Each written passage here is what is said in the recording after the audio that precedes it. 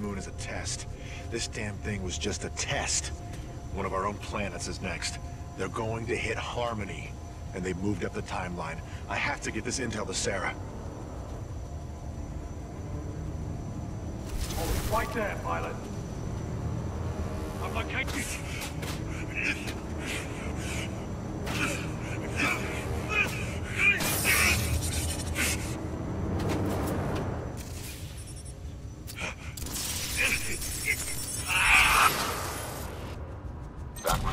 Anderson's final recording.